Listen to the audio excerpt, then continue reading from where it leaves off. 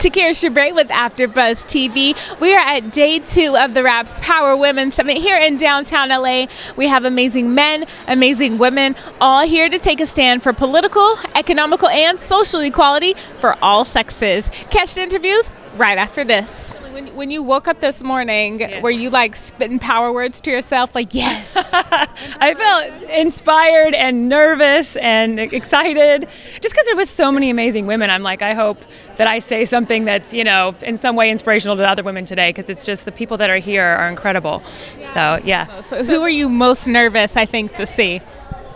I mean, Anita Hill, I think, is pretty awesome. you know? I almost fainted. I was like, ah, ah, I didn't know how to use a microphone. I was. I mean, I, I just learned about Dolores, so I think, did you interview her yet? Her yet? yeah, my counterpart did. Yeah. That is amazing. So um, a lot of the showrunners um, that inspire me. It's just it's there's a million people here that are just crazy. I'm a little bit overwhelmed.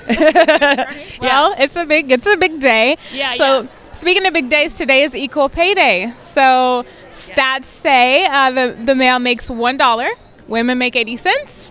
African American women make 62 cents, and Latina women make 54 cents to that one dollar. Where where do we go to close the gap? Where do you think it starts? I mean, I, I, it's disappointing. I mean, I think we have to close the gap. I think it starts with eh, bringing up the money. I mean, let's give let's give the raises, you know, because women. I work. I mean, I, I have a show that um, it's starring women. It's show run by women, written by women. They're extremely talented. There's no reason that they shouldn't be getting equal pay. So I'm a huge advocate for it. And on my show, really pulled for it for everybody to get paid as much as possible that we could possibly pay. So yeah. I think it starts with people like you. It, it, it does start with, with that step to just surround yourself and actually give women a chance. Yeah. What about the the men that are trying to support us? What advice do you have for them?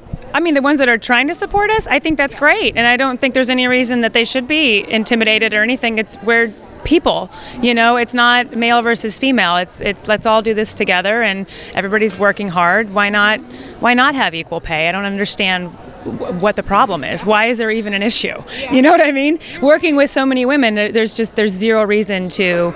They are they are talented. They are hardworking. They are kick ass. Like there's just zero reason to have this problem.